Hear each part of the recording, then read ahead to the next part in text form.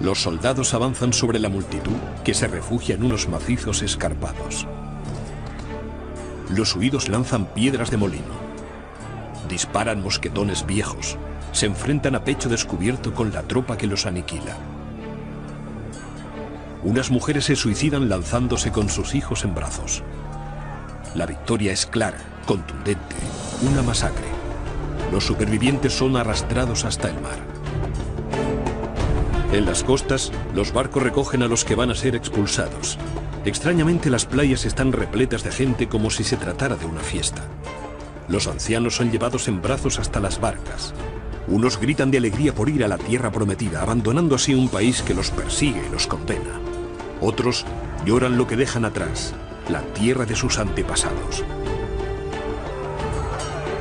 Los rumores se extienden. Se dice que los barcos no son seguros, que los capitanes echan al mar a los pasajeros incómodos. Les han robado durante el camino. Les roban en la playa, les roban en los barcos. Afirman que en las costas de enfrente les esperan mayores males, que tribus nómadas del norte de África les atacan, les asaltan, les violan y les asesinan. Dicen que es el castigo por sus pecados. Pero, ¿qué han hecho todas estas personas para sufrir esta inusitada serie de castigos? ¿Qué han hecho para ser arrancados de su tierra y ser expulsados a unos lugares que ni conocen ni han visto jamás? Esta es la crónica que explica las claves de una expulsión de varios cientos de miles de personas que se realizó de 1609 a 1614 en todo el territorio peninsular. La expulsión de los moriscos.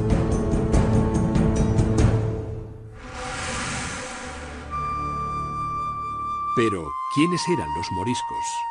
¿Venían de algún lejano territorio? ¿Era un grupo minoritario?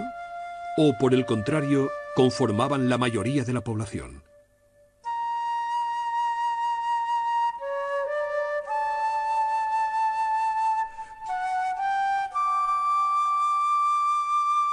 Los moriscos eran descendientes de los habitantes de Al-Ándalus, territorio de la península ibérica que estuvo bajo poder musulmán entre los años 711 y 1492.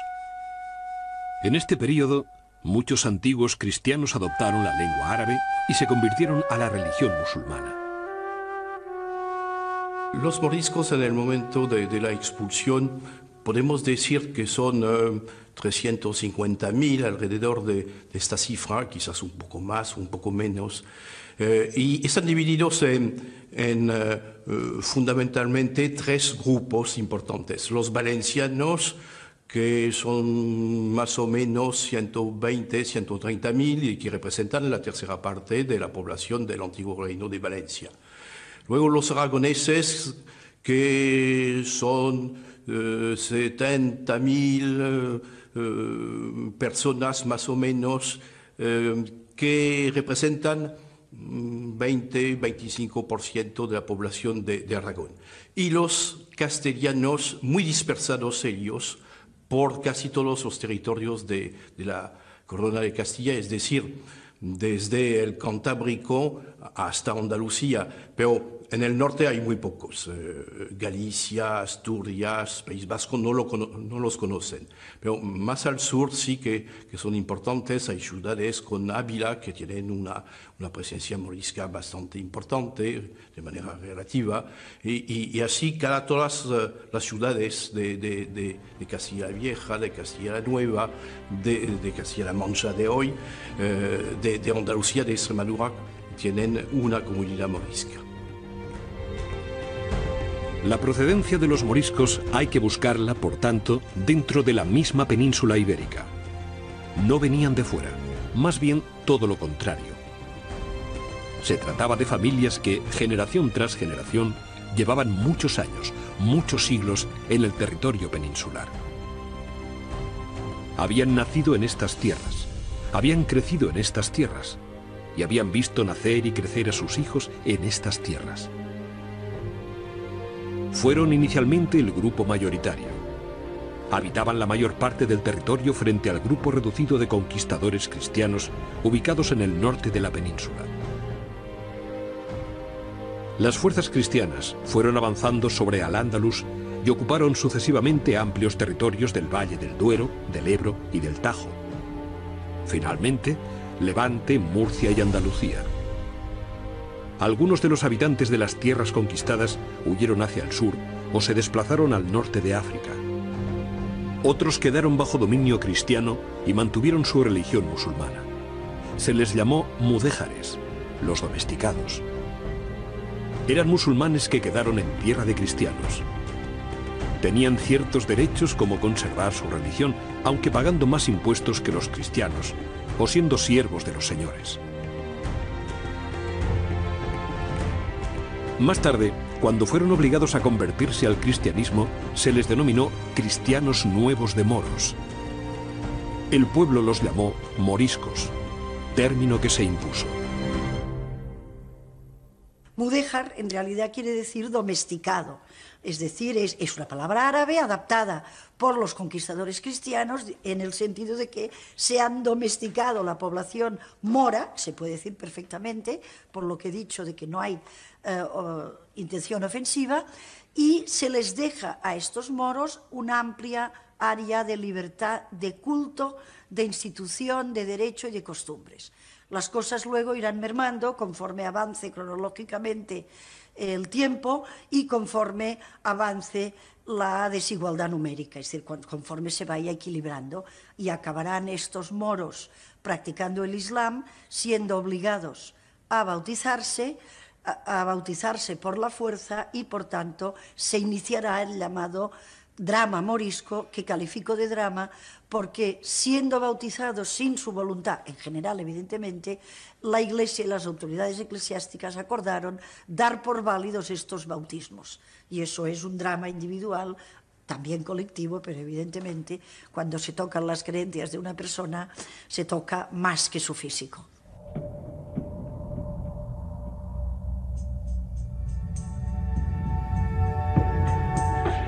Así, los mudéjares y luego los moriscos constituyeron una comunidad muy numerosa, mayoritaria, que progresivamente fue minorizada y, más tarde, expulsada.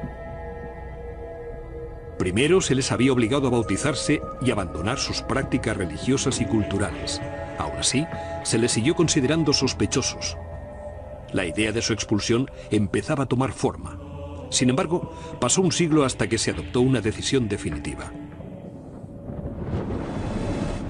Uno de los hechos más eh, sobresalientes, más sorprendentes, cuando uno se acerca al fenómeno de la expulsión de los moriscos, es que se trata de una decisión que en principio se toma, o por lo menos se intuye, en el año 1582 y de hecho se retrasa hasta el año 1609 el hecho de que pasen aproximadamente tres décadas entre una circunstancia y la otra, pues puede llevar a pensar, y de hecho así puede certificarse, que en algunos momentos de ese periodo parece oportuno y pertinente proceder a esta expulsión, mientras que en otro parece, por el contrario, no tener ningún sentido llevar a cabo esta medida. En el año 1609, durante el gobierno del duque de Lerma, valido del rey Felipe III, la medida se adoptó. Ese año se ordenó la expulsión definitiva de los moriscos. Alrededor de 300.000 se vieron obligados a abandonar la península y con ella la mayor parte de sus pertenencias, de sus talleres, de sus cultivos, de sus casas, de sus orígenes. Atrás quedaron muchos años de convivencia, a veces apacible, a veces agitada con los pobladores cristianos. Atrás quedó un amplio y rico legado cultural y científico. Atrás quedó un gran acervo de conocimientos agrícolas y artesanos. Atrás quedó la historia de una expulsión cuyas consecuencias fueron tan amplias como profundas. Felipe III eh, sucedió a su padre, Felipe II, en 1598 y, mm, tuvo que afrontar una situación bastante difícil porque, eh, la, eh, por ejemplo, la, la situación en Flandes, es decir, en los, eh, eh, lo que es hoy eh, Bélgica y Países Bajos, era preocupante con parte de la población sublevada. y, se encuentra con así distintos frentes en el Mediterráneo también con preocupación con las relaciones con eh, eh, en particular Marruecos porque muere eh, el, rey de Marruecos, el soldado, muere en 1603. entonces, una situación bastante compleja y, y podemos añadir una epidemia, de peste particularmente fuerte que azota a, casi toda España entre 1597 y 1602. Eh, con lo cual, eh, Felipe III tiene que pensar en una situación difícil cómo mantener la reputación de España. Y es en este marco cuando se examina la posibilidad de expulsar a los moriscos, medida que, que está en los planes desde hace algún tiempo eh, hay partidarios y adversarios y Felipe III se inclinó pronto eh, por la expulsión.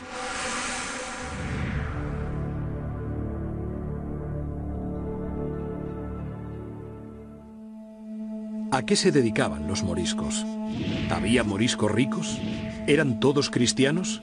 ¿Eran todos musulmanes? ¿Disponían de algún tipo de organización? Los moriscos desarrollaron un universo cultural, tecnológico y científico de gran variedad y riqueza.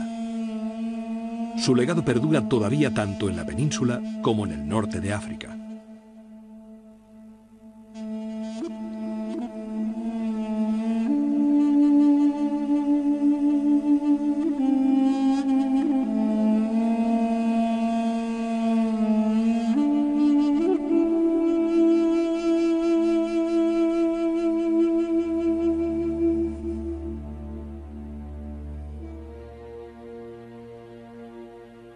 Son uno en el mal.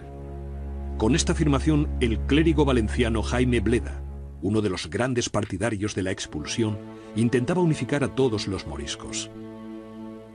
Era una acusación normal y frecuente entre los detractores de la población morisca.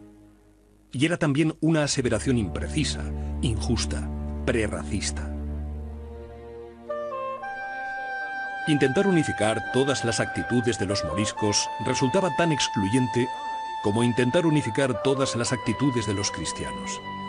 No existió un bloque en ninguno de los dos casos, aunque todavía hoy hay extremistas que lo afirmen. Existían moriscos dedicados a las tareas agrícolas, muchos. También había destacados zapateros, curtidores u orfebres. Otros fueron médicos, literatos e incluso algunos llegaron a ejercer como inquisidores. Además, aunque eran una minoría, también podemos hablar de moriscos ricos, poderosos, respetados.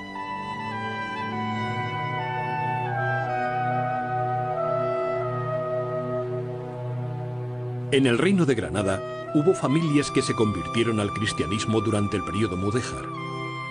A través de casamientos, muchos de ellos lograron integrarse en la oligarquía cristiana.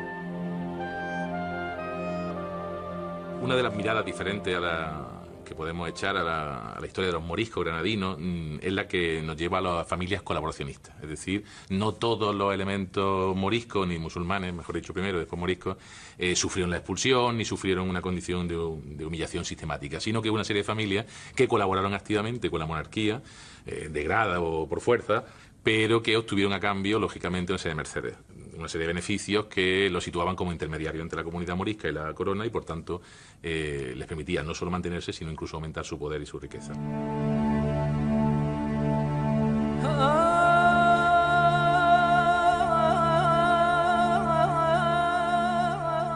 No todos los moriscos eran musulmanes, no todos los moriscos eran cristianos.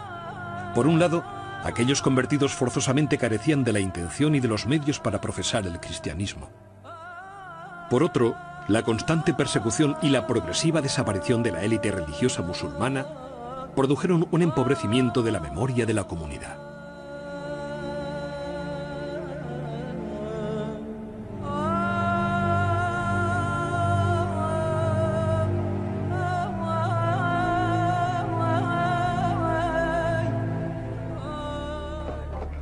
La organización social de los moriscos era compleja.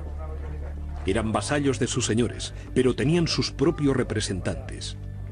Estos se encargaban de mantener el orden en la comunidad. En muchas poblaciones existían dos instituciones, la cristiana y la aljama morisca.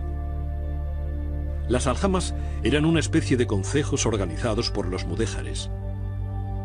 Popularmente se les llamó morerías.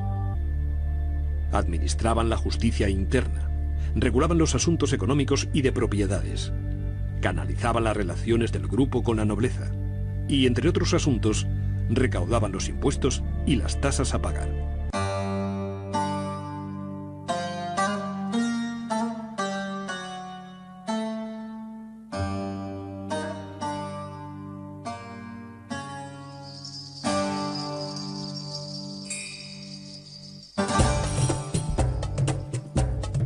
La especialización, o mejor dicho, la reducción de sus trabajos llegó más tarde, y de forma obligada como una imposición, mediante prohibiciones y regulaciones de todo tipo. Esta fue la manera en que las autoridades cristianas impidieron a los moriscos desempeñar ciertos oficios. Los artesanos cristianos fueron uno de los grupos profesionales más xenófobos con los moriscos. Su rechazo adquirió mayores dimensiones en las disciplinas profesionales en que los moriscos eran competidores suyos, Incluso intentaron imponer estatutos de sangre en sus cofradías y en sus gremios. El objetivo era claro, impedir la entrada de trabajadores con orígenes no cristianos.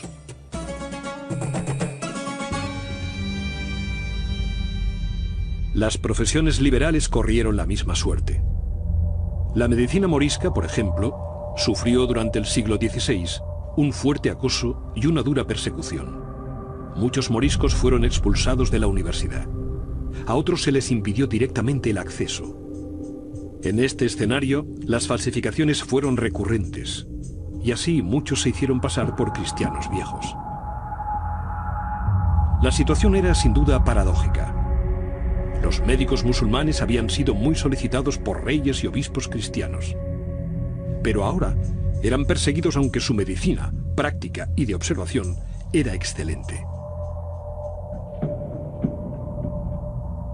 Incluso el propio monarca Felipe III, el rey que expulsó a los moriscos, fue salvado de la muerte en su niñez por un médico morisco.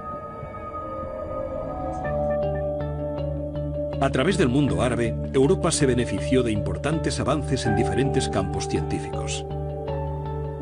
Sin los astrolabios y las brújulas no hubieran sido posibles los viajes oceánicos. Sin el cero, las ecuaciones y los algoritmos, no se hubiera conseguido el desarrollo del sistema económico. Sin el papel y las tintas, la revolución de la imprenta no se hubiera alcanzado. Sin los traductores de Toledo, muchas obras científicas y filosóficas de la antigüedad hubieran desaparecido.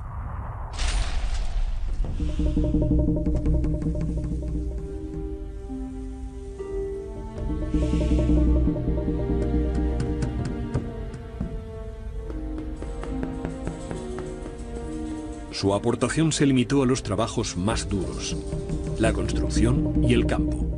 Y también en estos ámbitos demostraron un gran ingenio y una generosa capacidad de trabajo que en muchas ocasiones les valió las críticas y las envidias de sus compañeros cristianos.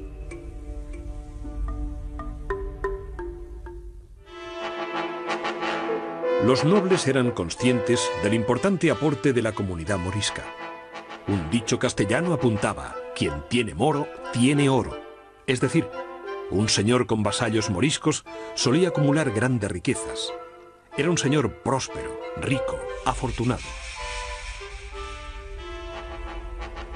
Los marqueses eran eh, muy partidarios de mantener en sus poblaciones a los moriscos porque eh, constituían la base impositiva sobre la que grababan los impuestos, puesto que los cristianos viejos que traían de Castilla para repoblar eh, otros pueblos estaban exentos de pagar esos tributos pues para hacerles fácil el venirse a estas tierras. Mientras que los moriscos, eh, a cambio de que se quedaran en sus ancestrales tierras, eh, tenían que costear eh, al marqués pues, las guerras que estos hacían y otros gastos.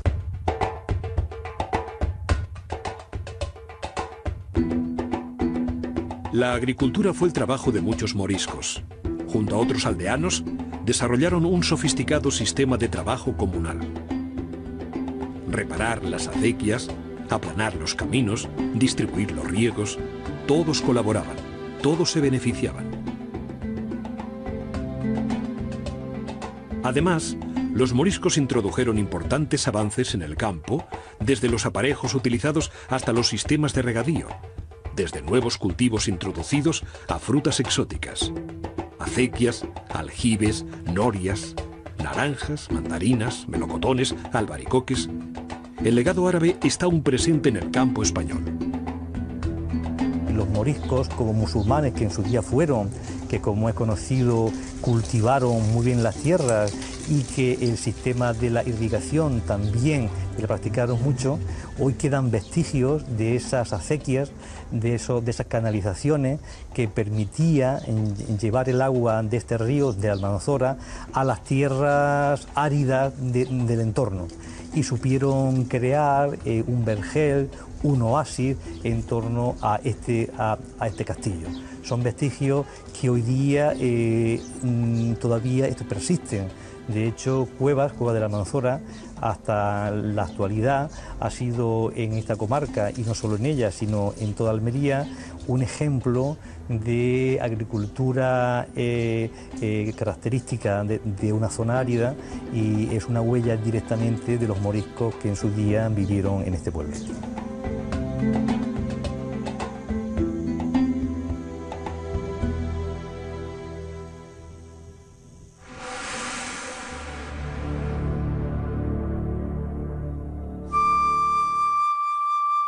Sumergirse en la cotidianidad de una familia morisca es la mejor manera de conocer un conjunto de tradiciones y costumbres tan particulares como interesantes.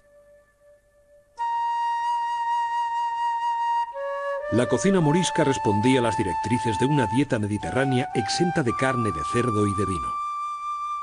Verduras, hortalizas, aceite, frutos secos y muchas especias que hoy hemos perdido.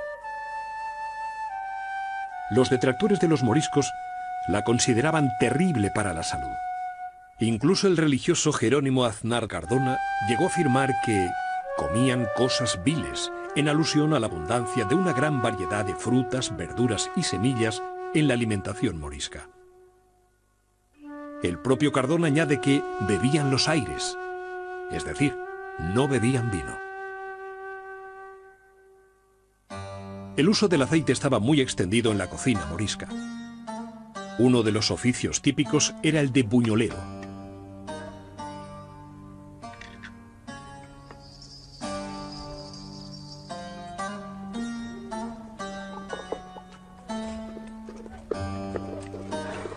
La conservación y la confitura de frutas también era algo habitual. El aprovechamiento de las tierras de secano impulsaba el cultivo de la almendra y su transformación en dulces como mazapanes o turrones.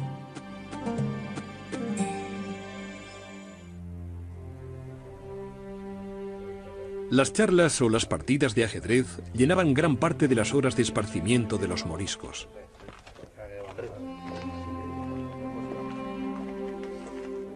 La mujer conservaba las tradiciones del hogar.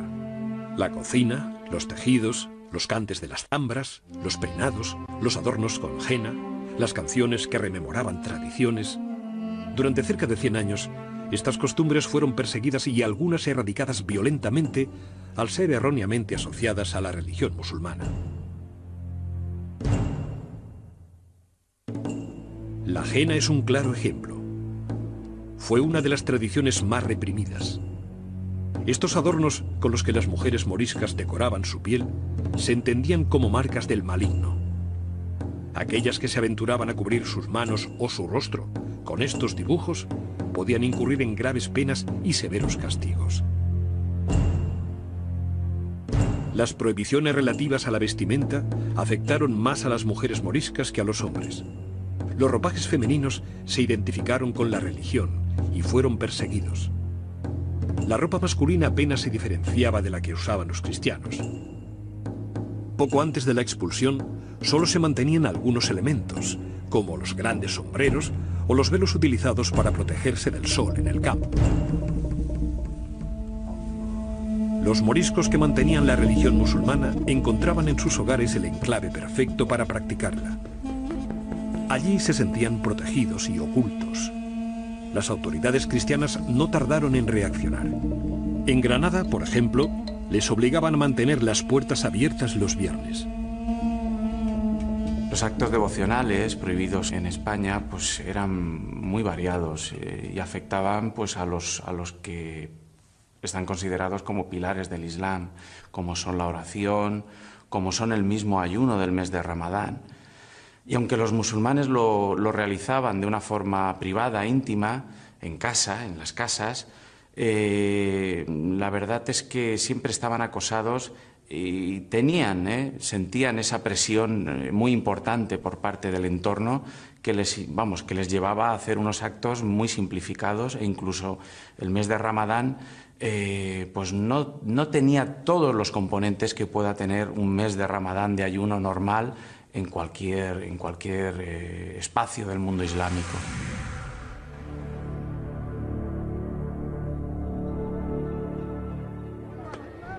Muchas veces fueron mentiras.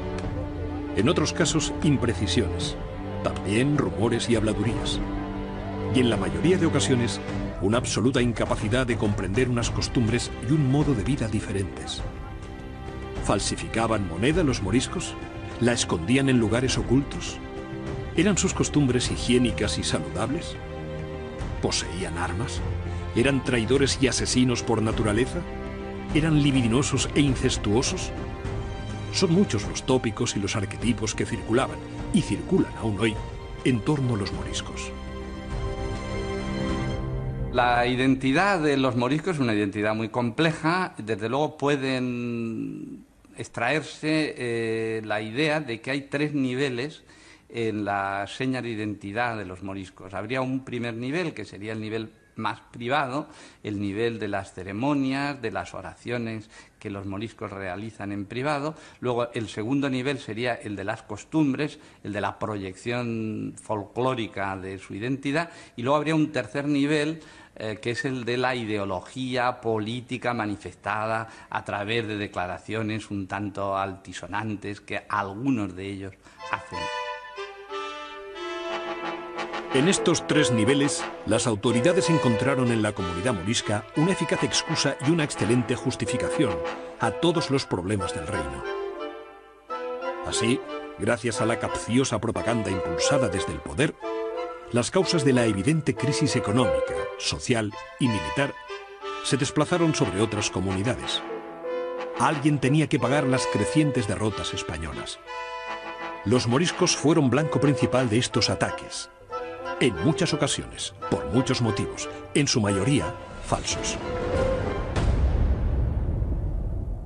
El miedo a un levantamiento morisco era constante. Por ello, los desarmes también lo fueron, especialmente durante todo el siglo XVI. Así, quedaron indefensos y expuestos a cualquier ataque.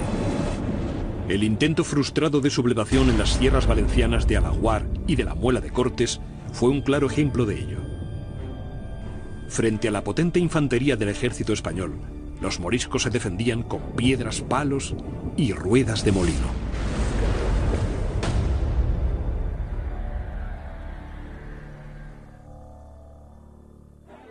Los moriscos también fueron tildados de ser prolíficos como las ratas y libidinosos como los conejos. Existía la idea de que tenían más hijos que los cristianos. Esta creencia llevaba directamente a dos aterradoras conclusiones. Acabarían llenando España y serían la población mayoritaria. Si bien se estaba produciendo justamente lo contrario. Además, a ellos se unían las ideas de que se casaban antes, no tenían clero, no iban a la guerra y no emigraban a las Indias.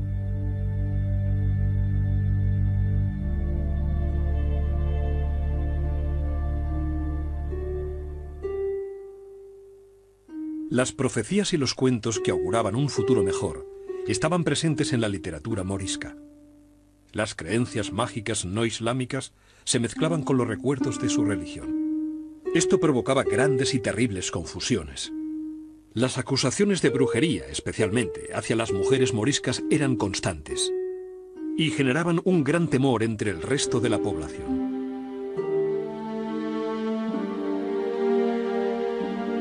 Algunas canciones de cuna de la época así lo muestran con letras que han llegado hasta la actualidad. Que no venga la mora, la mora de dientes verdes, que no venga la mora, ni te despierte.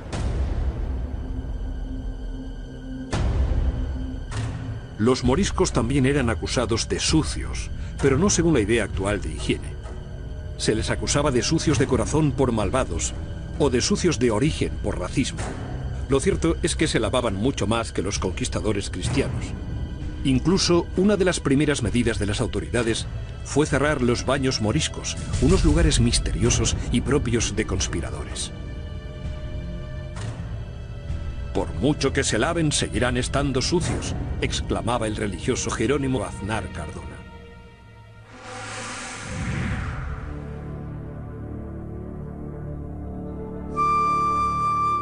Se les conoce como los libros plúmbeos.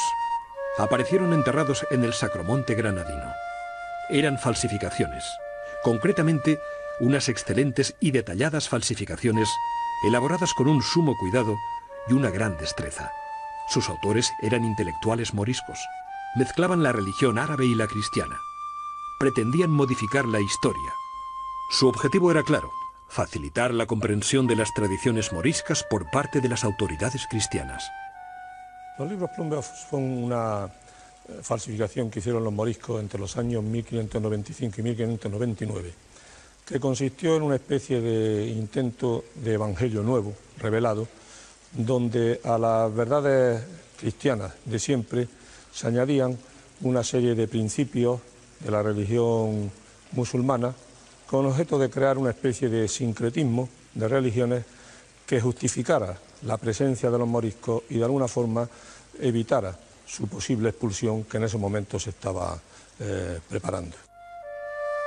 Los autores de los libros plúmbeos no consiguieron su objetivo. Sin embargo, los libros plúmbeos son un claro ejemplo de la capacidad y habilidad de la comunidad morisca. El legado cultural de los moriscos fue amplio y variado. Su impronta está presente en ámbitos tan variados como la medicina, la arquitectura o la literatura. Junto a una medicina oculta se siguió practicando una medicina popular basada en hierbas y compuestos. En muchos casos, esta sabiduría pasó de generación a generación, de madres a hijas. Las mujeres eran, pues, quienes la practicaron. Y este privilegio les valió un duro castigo. Muchas fueron acusadas de brujería. Las formas mudéjares continuaron presentes en la arquitectura morisca. Castillos, palacios e iglesias de todo el territorio de Aragón, Valencia, el Reino de Murcia y Granada fueron edificadas por mano de obra morisca. Sus trabajos están realizados básicamente con ladrillo, adobe, artesonados de madera y decoraciones de yeso. Y fueron también estos materiales los que predominaron en la edificación de sus casas encaladas y dotadas de pocas ventanas.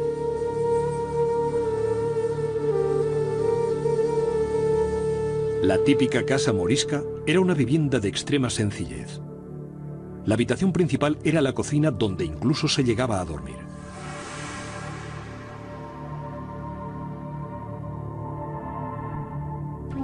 Este estilo de edificaciones, tanto en su concepción como en su apariencia, se puede todavía percibir en muchos pueblos de España. La impronta del estilo morisco sigue latente en sus barrios, en sus calles y en sus viviendas.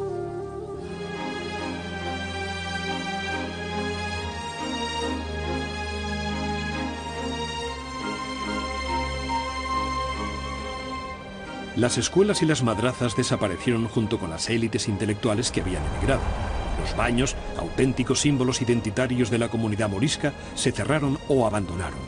Las bibliotecas habían sido destruidas durante la conquista y los libros quemados. El uso del árabe estaba prohibido. Sin embargo, los moriscos fueron capaces de desarrollar una literatura en clave llamada literatura aljamiada. Conservaba los caracteres árabes, pero las palabras y sus significados eran castellanos. Era, por tanto, un texto en romance escrito en caracteres árabes. Eran textos religiosos, literarios, poéticos, médicos o de memorias biográficas.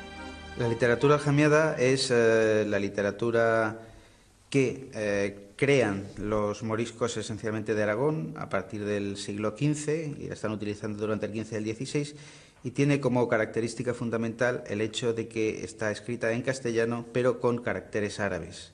En esta literatura los moriscos lo que hacen es recoger toda su herencia cultural y religiosa esencialmente, traduciendo diversas obras eh, de literatura musulmana, eh, desde el Corán, pasando por los hadices y diversos eh, breviarios y devocionarios.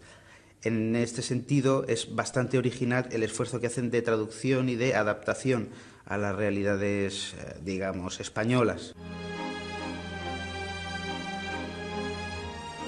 Fue una fuente del legado morisco que todavía hoy está siendo desvelado. Fue una literatura de resistencia que utilizó los signos árabes como signo de identidad. Fue el último intento, repleto de belleza, de una élite cultural en su lucha por sobrevivir.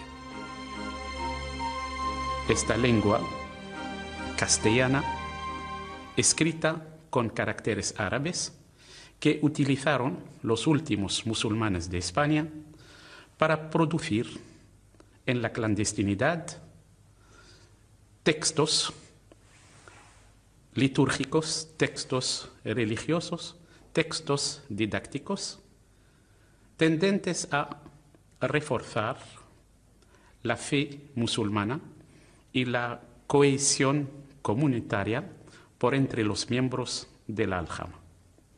La aljamía, por consiguiente, es este español arabizado, este español semitizado, cuyo fundador fue Isa ibn Jebr, en español Isa de Jebir. En muchos casos, la literatura religiosa derivó en profecías y supersticiones. La del encubierto, el Mahdi o el caballero del caballo blanco era una de las más conocidas. Un personaje ficticio que debía conducir a los moriscos a un futuro mejor al esplendor del pasado. Y una noche de cuarto creciente, el rayo de la luna dará en la cueva de la montaña y su rayo claro color de leche se transformará en un caballo blanco al que se subirá un guerrero llamado Al-Fatimí, con una gran túnica de color esmeralda, por la que se le llamará el Caballero Verde. Y este Caballero Verde, con su caballo alboraique, dirigirá la batalla, acabando con todos los enemigos y restaurando el culto de Alá.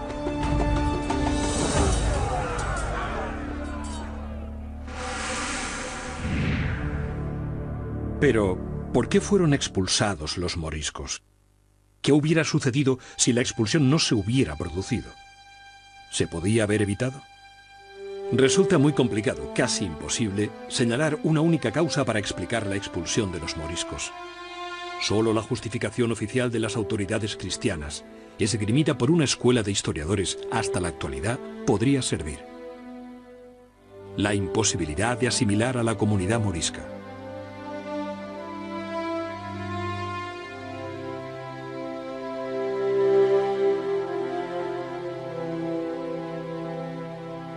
Sin embargo, desde el comienzo de la conquista, muchos musulmanes se convirtieron al cristianismo. A partir de la reconquista, sabemos que de alguna manera la conversión era un poco, entre comillas, forzada o te iba. Y entonces, claro, la mayoría pues, optó, esta era su tierra, esta era su familia, esta era su vida, optó por quedarse. Y lógicamente pues se convirtieron. En los primeros tiempos, pues seguramente la conversión era más bien de, de palabra que en realidad era un poco aparentar, pero poco a poco eh, eh, fueron convirtiéndose en auténticos cristianos. Pero esta conversión fue tan solo un bálsamo efímero. El cambio de fe de estos nuevos cristianos no fue suficiente. En 1609, el rey Felipe III ordenó la expulsión de los moriscos de sus reinos. Se pretendía erradicar con cualquier resto del pasado musulmán de todo el territorio de la península ibérica. En algunos casos, no obstante, fue necesario llevar a cabo hasta tres intentos de expulsión de los moriscos de un mismo lugar. El pueblo de Villarrubias de los Ojos, de Ciudad Real, es un claro ejemplo. Villarrubia de los Ojos es un caso muy interesante, porque es un pueblo pequeño eh, del campo de Calatrava, en La Mancha, eh, y resulta que la mitad de la población pues eran moriscos, ¿no? Muy bien asimilados, eh, parece que no había conflictos locales, nada fuera de lo normal en cualquier pueblo, digamos, de La Mancha. Cuando llegan las expulsiones, se quedan muy sorprendidos porque creen que van a quedar exentos por, estar tan, bien asimilados, se creen cristianos, católicos, ah, y se les cae como una bomba el bando de expulsión. Los expulsan la primera vez a Francia y mm, con un mes o seis semanas ya han vuelto todos al pueblo y vuelven a sus casas, vuelven a sus vidas tranquilamente, andando desde Francia, que no es poca cosa. Eh, la segunda expulsión tiene lugar unos meses después, en 1612, y esta vez intentan echarlos a África, pensando que, desde África ya será más complicado. Y aún así, pues consiguen volver. Y la tercera expulsión la lleva a cabo el propio conde de Salazar, el encargado de las expulsiones de Castilla, eh, porque ya no se fía de sus subordinados y decide él mismo ir a La Mancha a echar a todos los moriscos posibles y con el mismo pobre resultado. Y pocos años después, eh, demográficamente, económicamente, está claro que la mayor parte, si no todos los moriscos, están de vuelta, están de nuevo en el pueblo. Claro, buena parte ni fueron expulsados, porque ni, ni expulsaron a los viejos, ni a los impedidos, ni a, las jóvenes casadas con cristianos viejos, etc. Es decir, quedaban bastantes, yo creo, calculo la mitad, y eso actúa como, digamos, un apoyo, un imán para que vengan los demás.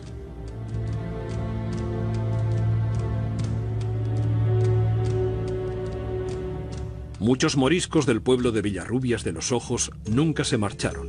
Otros simplemente regresaron poco tiempo después. Su asimilación con el resto de aldeanos era total la población cristiana les apreciaba y su ayuda para burlar el decreto real fue decisiva. Sin embargo, este es tan solo un caso excepcional.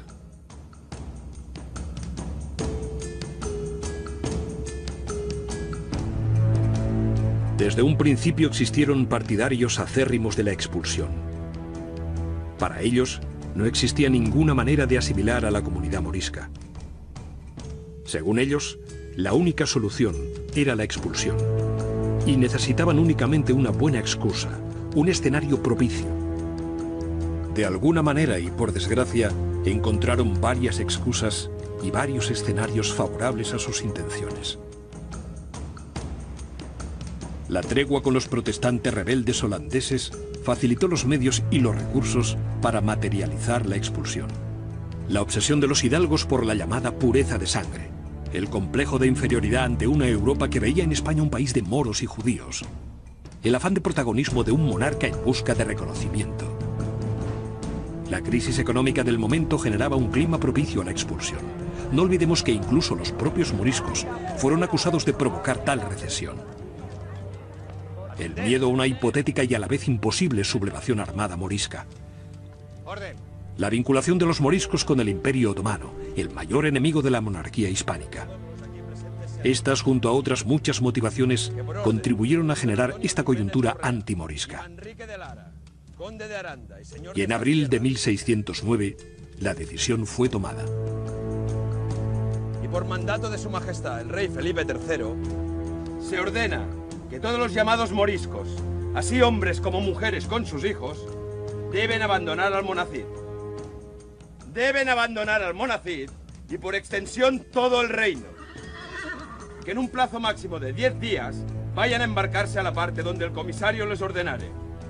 Y el que no cumpliere, incurra en pena de vida, que se ejecutará irremisiblemente. Se decretó la expulsión de los moriscos, aunque no sin miedo. Las autoridades temían una reacción violenta de la comunidad morisca que desencadenase una sublevación en diferentes puntos de la península.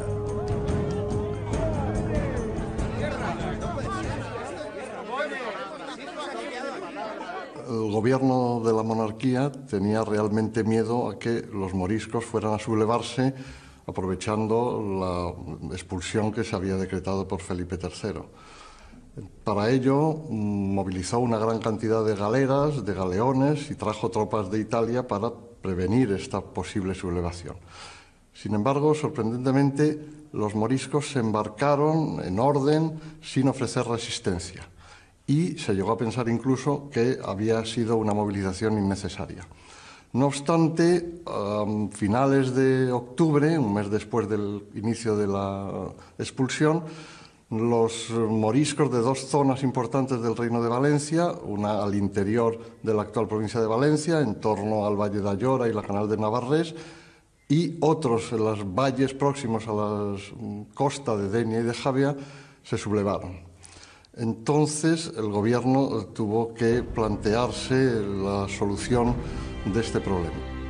Los alfaquíes les habían alentado con profecías que auguraban un éxito de su lucha. Así, los sublevados pretendían resistir hasta la primavera, esperando una sublevación más general o incluso que el rey concediera su permanencia en España. El desenlace fue muy diferente. Armados básicamente con ondas, piedras o ruedas de molino atravesadas con palos, acabaron rindiéndose ante las fuerzas del ejército de la corona. Desde allí, fueron conducidos hasta las costas para proceder a su embarque. Apuraban sus últimos días en el territorio peninsular ya nada podían hacer. Su expulsión era inminente.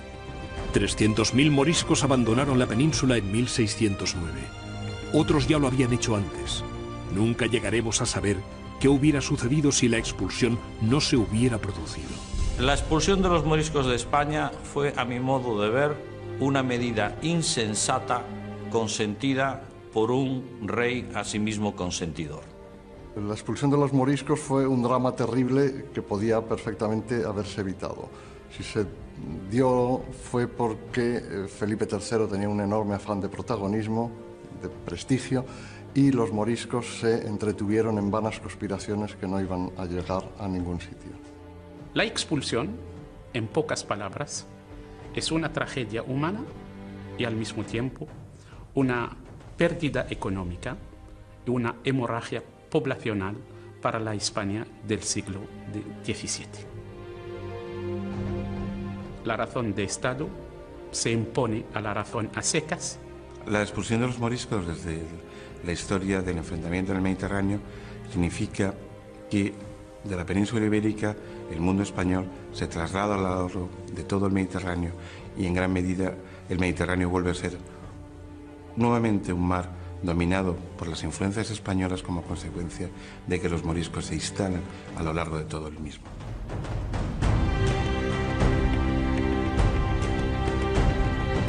La península ibérica perdió una riqueza cultural y humana que recibió el norte de África. Allí, los barrios, la música, la artesanía, los cuentos, las leyendas, siguen recordando a día de hoy que la comunidad morisca continúa viva.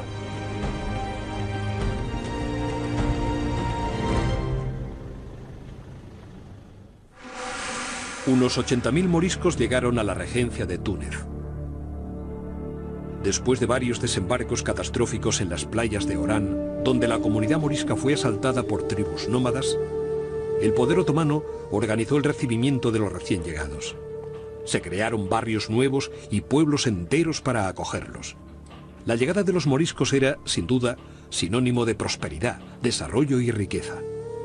Con su ayuda, se pretendía mejorar la industria, la agricultura y la artesanía de la zona. Lo consiguieron.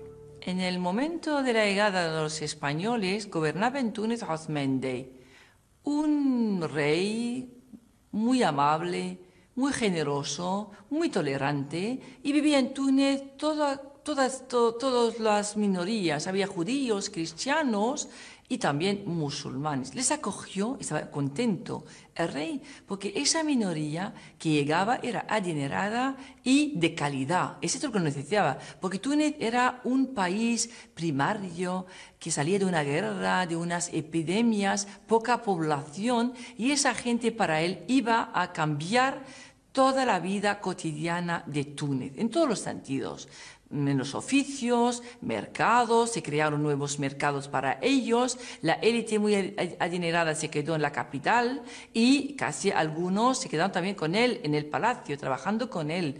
Y los demás ya fueron esparcidos, labradores, comerciantes, se fueron un poco al norte y al sur. La gran riqueza y el florecimiento que la llegada de los moriscos generó en los territorios del norte resulta algo evidente. Hoy el interrogante es otro. La incógnita es más evidente. La respuesta se muestra más difícil. La pregunta es más sencilla. ¿Cómo hubiera sido ese espacio de convivencia en una España que pudo ser y no fue?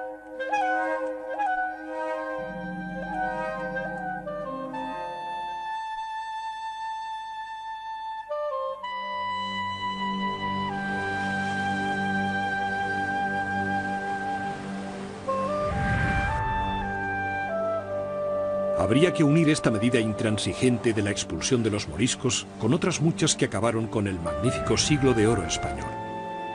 Comenzó una larga decadencia. El imperio no se hundió solo militarmente por la cerrazón de unos gobernantes empeñados en ganar guerras imposibles. También se hundió por esa misma cerrazón frente a cualquier idea nueva o innovación. España no fue derrotada, sino que se derrotó a sí misma, reprimiendo y expulsando lo mejor de sus gentes.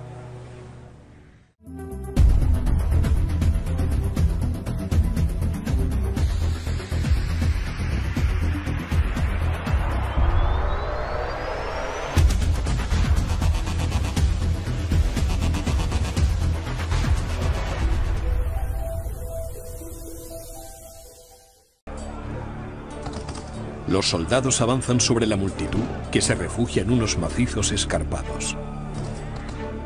Los huidos lanzan piedras de molino. Disparan mosquetones viejos. Se enfrentan a pecho descubierto con la tropa que los aniquila. Unas mujeres se suicidan lanzándose con sus hijos en brazos. La victoria es clara, contundente, una masacre. Los supervivientes son arrastrados hasta el mar. En las costas, los barcos recogen a los que van a ser expulsados. Extrañamente las playas están repletas de gente como si se tratara de una fiesta. Los ancianos son llevados en brazos hasta las barcas. Unos gritan de alegría por ir a la tierra prometida, abandonando así un país que los persigue y los condena. Otros lloran lo que dejan atrás, la tierra de sus antepasados. Los rumores se extienden. Se dice que los barcos no son seguros, que los capitanes echan al mar a los pasajeros incómodos. Les han robado durante el camino. Les roban en la playa, les roban en los barcos. Afirman que las costas de enfrente les esperan mayores males, que tribus nómadas del norte de África les atacan, les asaltan, les violan y les asesinan. Dicen que es el castigo por sus pecados. Pero, ¿Qué han hecho todas estas personas para sufrir esta inusitada serie de castigos? ¿Qué han hecho para ser arrancados de su tierra y ser expulsados a unos lugares que ni conocen ni han visto jamás? Esta es la crónica que explica las claves de una expulsión. 5% de la población de, Aragón. Y los castellanos, muy dispersados ellos, por casi todos los territorios de, de la corona de Castilla, es decir, desde el Cantábrico hasta Andalucía, pero en el norte hay muy pocos. Eh, Galicia, Asturias, País Vasco no, los conocen. Pero más al sur sí que, que, son importantes. Hay ciudades con Ávila que tienen una, una presencia morisca bastante importante de manera relativa. Y, así cada todas eh, las ciudades de, de, de, Castilla Vieja, de Castilla Nueva, de, Castilla-La Mancha de hoy, eh, de Andalucía, de Extremadura, tienen una comunidad morisca. La procedencia de los moriscos hay que buscarla, por tanto, dentro de la misma península ibérica. No venían de fuera, más bien todo lo contrario. Se trataba de familias que, generación tras generación, llevaban muchos años, muchos siglos en el territorio peninsular. Habían nacido en estas tierras, habían crecido en estas tierras y habían visto nacer y crecer a sus hijos en estas tierras. Fueron inicialmente el grupo mayoritario. Habitaban la mayor parte del territorio frente al grupo reducido de conquistadores cristianos ubicados en el norte de la península. Las fuerzas cristianas fueron avanzando sobre Al-Ándalus y ocuparon sucesivamente amplios territorios del Valle del Duero, del Ebro y del Tajo. Finalmente, Levante, Murcia y Andalucía. Algunos de los de varios cientos de miles de personas que se realizó de 1609 a 1614 en todo el territorio peninsular. La expulsión de los moriscos.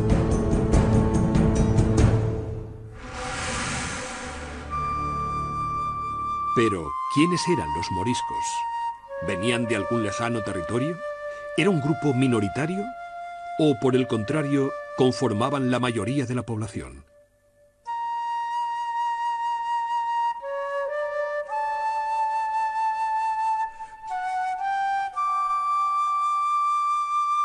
Los moriscos eran descendientes de los habitantes de Al-Ándalus, territorio de la península ibérica que estuvo bajo poder musulmán entre los años 711 y 1492. En este periodo, muchos antiguos cristianos adoptaron la lengua árabe y se convirtieron a la religión musulmana. Los moriscos en el momento de, de la expulsión podemos decir que son uh, 350.000 alrededor de, de, esta cifra, quizás un poco más, un poco menos, uh, y están divididos en, en uh, fundamentalmente tres grupos importantes. Los valencianos, que son más o menos 120, 130 mil y que representan la tercera parte de la población del antiguo reino de Valencia. Luego los aragoneses, que son eh, 70 mil eh, personas más o menos, eh, que representan 20, 25. Los habitantes de las tierras conquistadas huyeron hacia el sur o se desplazaron al norte de África. Otros quedaron bajo dominio cristiano y mantuvieron su religión musulmana. Se les llamó mudéjares, los domesticados. Eran musulmanes que quedaron en tierra de cristianos. Tenían ciertos derechos como conservar su religión, aunque pagando más impuestos que los cristianos, o siendo siervos de los señores. Más tarde, cuando fueron obligados a convertirse al cristianismo, se les denominó cristianos nuevos de moros. El pueblo los llamó moriscos, término que se impuso. Mudéjar en realidad quiere decir domesticado, es decir, es, es, una palabra árabe adaptada por los conquistadores cristianos en el sentido de que se han domesticado la población mora, se puede decir perfectamente, por lo que he dicho de que no hay eh, intención ofensiva, y se les deja a estos moros una amplia área de libertad de culto, de institución, de derecho y de costumbres. Las cosas luego irán mermando conforme avance cronológicamente el tiempo y conforme avance la desigualdad numérica, es decir, conforme se vaya equilibrando y acabarán estos moros practicando el Islam siendo obligados a bautizarse, a, bautizarse por la fuerza y por tanto se iniciará el llamado drama morisco, que califico de drama porque siendo bautizados sin su voluntad, en general evidentemente, la Iglesia y las autoridades eclesiásticas acordaron dar por válidos estos bautismos. Y eso es un drama individual, también colectivo, pero evidentemente cuando se tocan las creencias de una persona se toca más que su físico.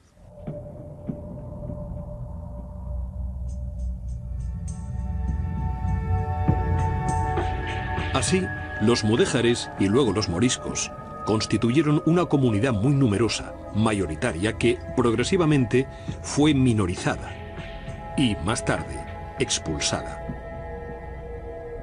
Primero se les había obligado a bautizarse y abandonar sus prácticas religiosas y culturales. Aún así, se les siguió considerando sospechosos. La idea de su expulsión empezaba a tomar forma. Sin embargo, pasó un siglo hasta que se adoptó una decisión definitiva. Uno de los hechos más eh, sobresalientes, más sorprendentes cuando uno se acerca al fenómeno de la expulsión de los moriscos es que se trata de una decisión que en principio se toma, o por lo menos se intuye, en el año 1582 y de hecho se retrasa hasta el año 1609.